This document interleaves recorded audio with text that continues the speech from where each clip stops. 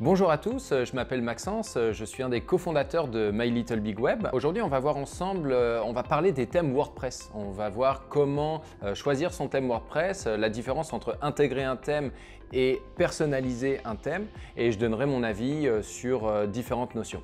Qu'est-ce qu'un thème WordPress?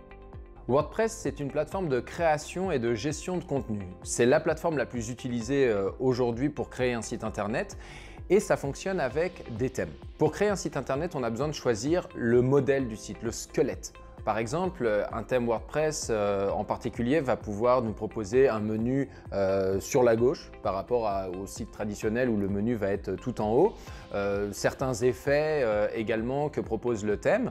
On peut voir sur certains sites comme ThemeForest, par exemple, c'est l'un des sites les plus connus où il y a des milliers de thèmes, pas seulement d'ailleurs des thèmes WordPress, mais dans la catégorie WordPress, vous pouvez voir les thèmes en preview. Donc en gros, vous cliquez dessus, puis vous avez euh, euh, le thème un peu mis en situation avec du faux texte. Vous pouvez voir les différents effets et euh, ça vous permet de, vous faire une idée finalement du, du, rendu final de votre site internet si vous choisissez tel ou tel scénario. Pour créer votre site internet, vous devez choisir à partir de quel thème vous allez créer votre site. Donc si on reprend encore une fois l'exemple de thème Forest. Il y a différentes catégories euh, selon euh, le secteur d'activité, euh, selon le type de contenu que vous allez présenter sur votre site. Par exemple, si vous êtes un agent immobilier, il y a une section Real Estate où vous pouvez justement dire ok, bah, moi j'aime bien ce, type d'affichage là, donc je vais, prendre, je vais prendre ce thème là. Un thème WordPress en général, ça va coûter entre 30 et 60 dollars, donc c'est clairement pas la dépense de l'année,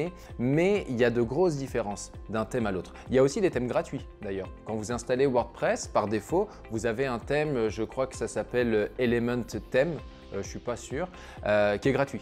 Euh, bon, évidemment, Dépendamment du prix ou dépendamment de la popularité du thème, vous allez avoir différentes fonctionnalités. Donc c'est très important avant de passer des dizaines d'heures à installer votre, votre thème, à tenter de le personnaliser, de bien le choisir, de bien se renseigner sur ce thème-là. Quel thème WordPress utiliser?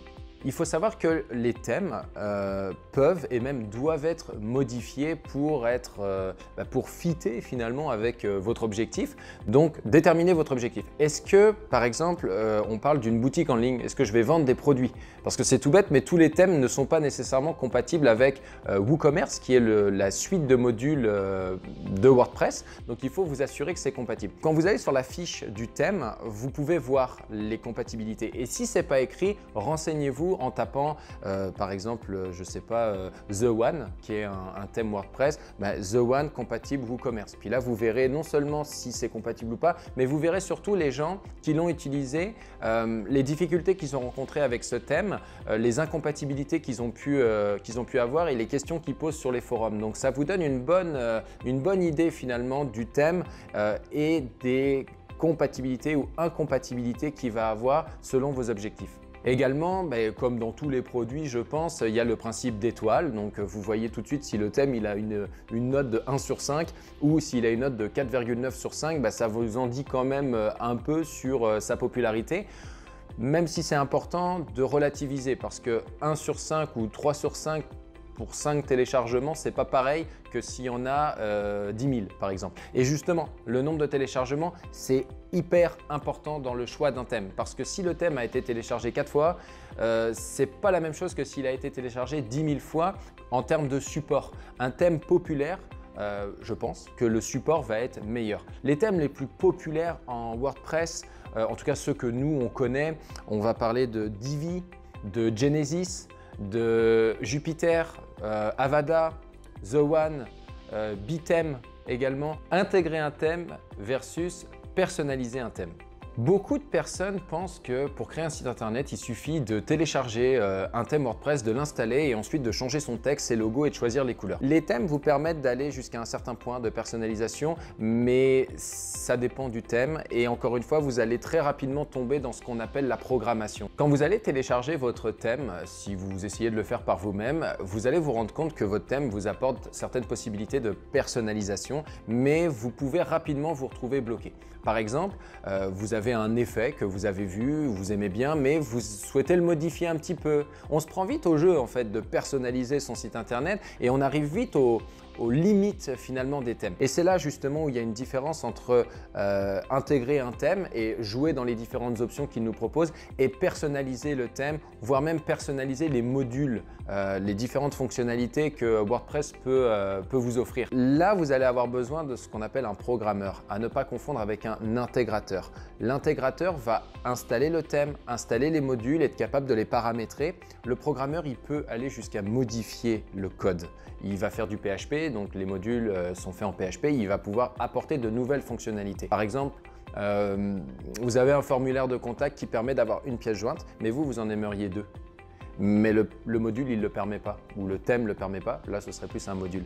Bah, le programmeur, il va programmer cette fonctionnalité-là. En conclusion, euh, pour choisir un thème, moi je vous recommande ThemeForest, je vous recommande de faire des recherches sur ce thème-là. Croyez-moi que 30 minutes ou une heure à passer à rechercher le thème, euh, les différents problèmes que vous allez pouvoir euh, rencontrer, c'est pas du temps perdu. Au contraire, c'est toujours mieux de faire ça avant plutôt que de s'en rendre compte par soi-même. Et il est très important de, bien comprendre justement bah, quel quelle aide je vais avoir potentiellement besoin, jusqu'où je veux aller dans la personnalisation de mon thème pour faire le choix d'un programmeur, d'un intégrateur ou euh, de le faire euh, vous-même. J'ai essayé de survoler un petit peu le choix du thème WordPress. Il est évident que c'est un peu plus complexe que ça. Si vous avez besoin d'aide justement euh, dans la création de votre site internet, My Little Big Web est experte en création, refonte de site web. Vous pouvez me contacter directement si vous allez sur notre site. Le numéro de téléphone qui s'affiche renvoie directement vers mon cellulaire. M'appelez pas non plus à n'importe quelle heure, mais ça me fera plaisir de répondre à vos questions. Évidemment, si vous avez envie de vous abonner à notre page, de la liker, de la partager sur euh, les réseaux sociaux, n'hésitez pas. Euh, ça nous fait toujours plaisir de voir le nombre d'abonnés euh, augmenter. Et ben, encore merci de nous suivre. Bonjour à tous, bienvenue dans cette vidéo où on va parler ensemble des... On va pas parler du tout ensemble, je vais parler tout seul en fait. Et encore une fois, vous allez très rapidement tomber dans ce qu'on appelle la programmation. je me suis fait attaquer par un Il est peut-être encore dans mon nez. Intégrer un thème versus... J'arrive même pas à lire ce que j'ai écrit. Il est encore là? Il a dû partir. Ah, le salaud. Eh oui, mon gars.